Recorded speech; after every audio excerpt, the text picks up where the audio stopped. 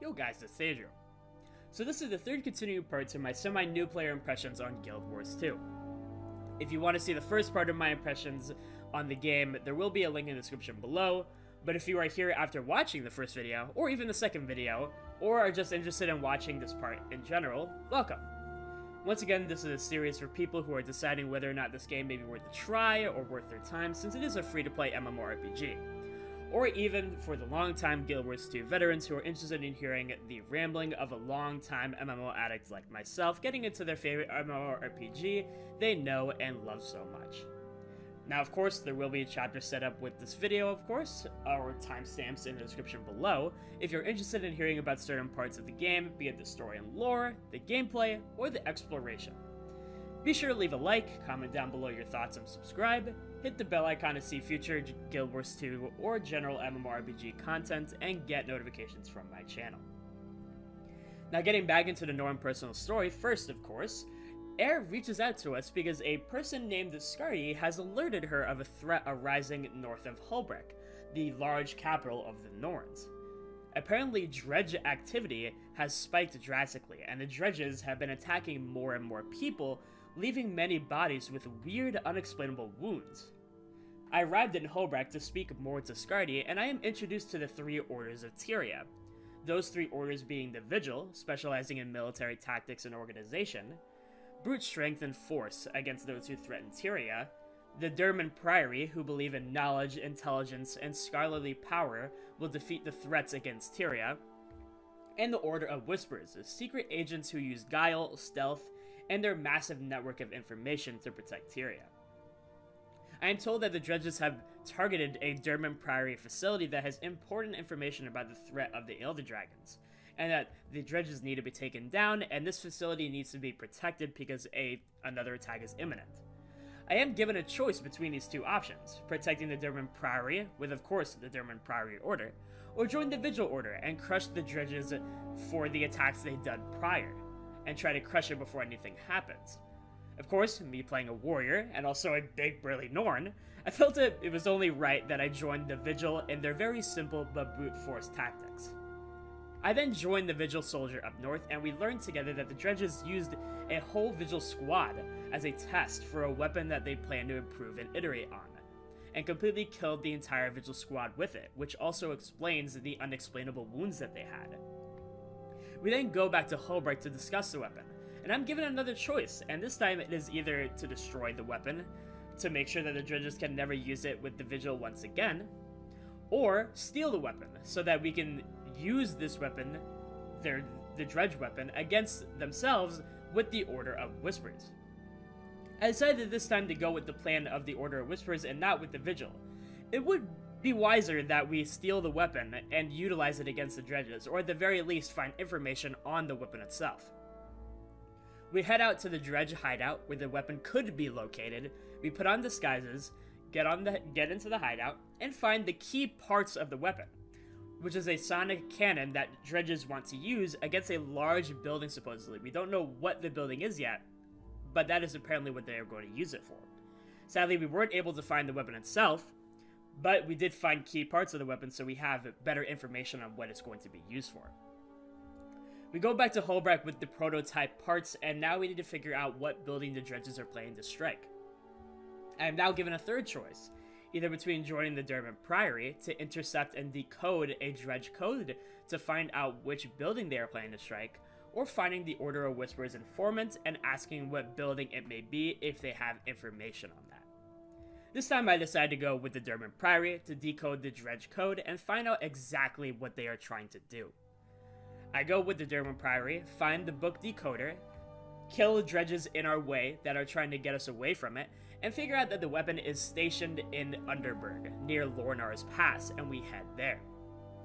We arrive at Underberg and fight our way in, and find a dredge who disagrees with the other dredges and think that the weapon is insanity and is actually causing way more issues for the dredges than it is for us.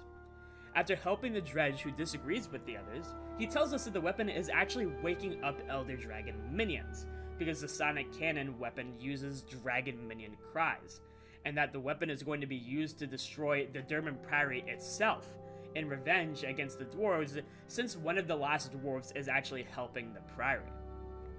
I am finally given a last choice to decide on how we deal with the weapon for good, and join an order permanently with the choice I make.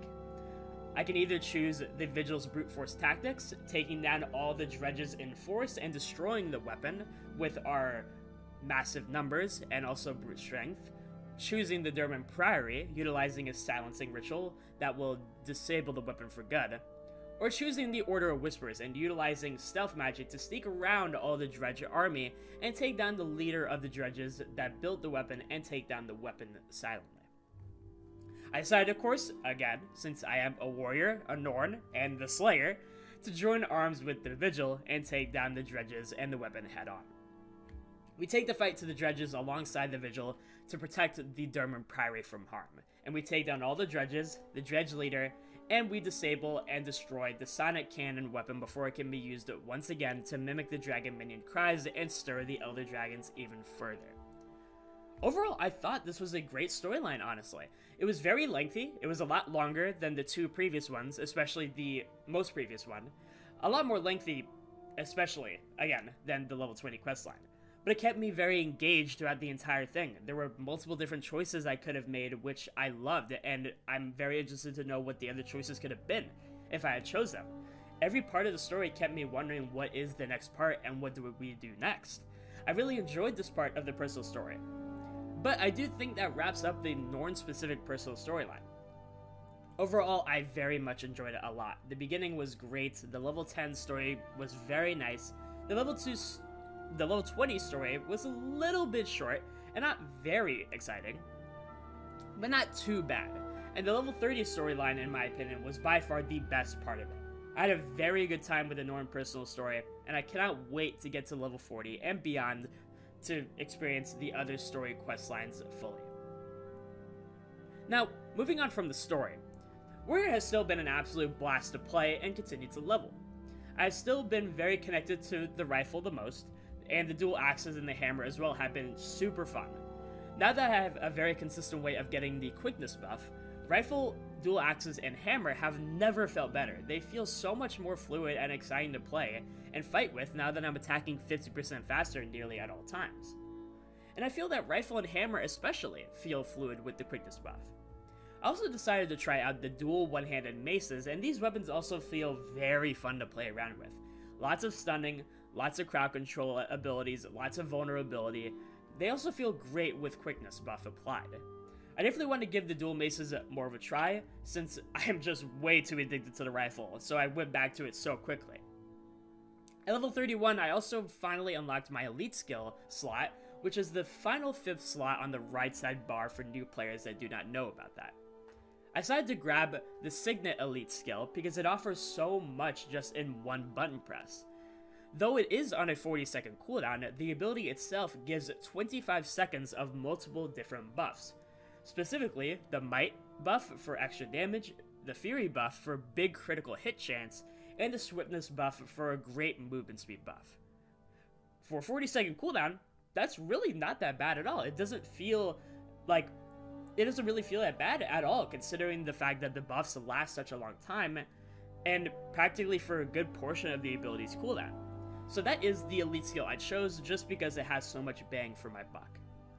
Now aside from that, as I said, I have been absolutely loving Warrior, and I have been fighting the urge non-stop to go and try other classes because I really want to at least experience Warrior all the way up to level 80 before I try the other classes. Now, of course, that's not the end of me getting new stuff for Warrior or experiencing everything Warrior has to offer, because we do have the elite specialization and stuff like that, like I've heard from people in the comments below. But I am for sure going to try other classes, as I have enjoyed Warrior so much thus far.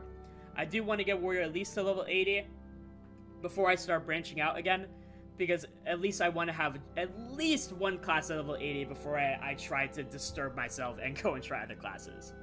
And I also cannot wait to see what I can do with my build making again, once I hit level 45 which for any new players that haven't played, is when you get your second specialization slot to add even more passive traits to your character, and level 21 being when you get your first specialization slot. Now, of course, we get back into Guild Wars 2's lovely world exploration. exploring the northwestern parts of Snowden Drifts, which is the last area I needed to explore before finishing it fully, I was reminded fully of Skyrim once again. I just took a moment and looked around and took in the game's sights, and this part of the Snowden Drifts was incredibly snowy and many hills with some mountains. It was an absolutely beautiful area.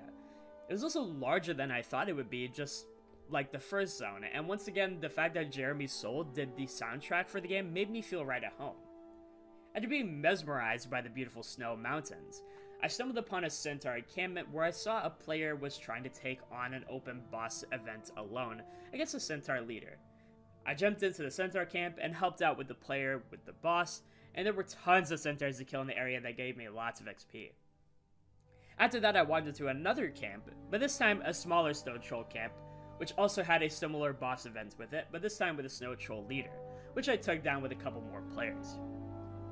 Now, after that, pretty much wrapped up the Snowden Drifts fully, and I finally made it on my way to Lornar's Pass, which is even larger than the previous two zones I had now 100%ed. It has double the activities and point of interest of Snowden Drifts to discover and find. I was actually baffled by how large Lornar Pass is. It's actually insane. Because I thought that the previous two zones were already large as is, but now this zone has nearly a hundred different things to find and complete to complete the zone fully. In Lornar's Pass, I first came across a massive cave system that had a lot of dead miners in the area that I had to resurrect and help for them in the quest in that mine quest area. I was easily stuck in that mine for a good half an hour doing the quest to help the miners, getting a vista, getting a point of interest, and also doing a hero point challenge where the boss and I killed each other at the same time. All of that just in one singular cave, surprisingly enough. I also have been noticing that the further I got into higher level zones as I level, the more difficult vistas and hero points there are to explore and find. I found myself on some vistas completely stumped trying to figure out how to get up to certain parts of the map or failing at a parkour segment over and over and over again so I could get to the vista to, go, to further complete my map completion. And it was also satisfying when I finally end up figuring out how to get to certain areas to claim those vistas. And in terms of hero points as well, they are becoming more well hidden. In some cases, I am again having to do fun parkour segments to try and reach them. And some hero point challenges have even harder bosses now to fight, which is always very fun. Especially when I mentioned before, I was fighting a hero point boss and we ended up killing each other at the same time. And Lornar's Pass is absolutely beautiful to walk around in and adventure in. This time, instead of snowy hills and forests and hills, it is now completely covered in very large and deep valleys, which is an absolutely beautiful sight to behold. I had to take a moment just to take in the sights once again. Guild Wars 2 does not they they they do not struggle with open world design at all. It is so damn good and I will never get enough of it at all. And that pretty much concludes my impressions on the level 30 to 40 range in Guild Wars 2. I have still been absolutely having a blast, and I think this is the most fun that I've actually had so far with the series. The story was great, my class is still continuing to get more fun, and the open world areas are just continuing to get larger and larger, more beautiful, and more fun to adventure in. And Guild Wars 2 has continued to be an absolute treat just to take my time in to chill, relax, explore a vast open world, and just have a good time. If you are a new player and are wondering if Guild Wars 2 is worth playing since it is free to play, and also wonder if it's worth your time from levels 1 to 40. I can wholeheartedly assure you that it is worth trying out.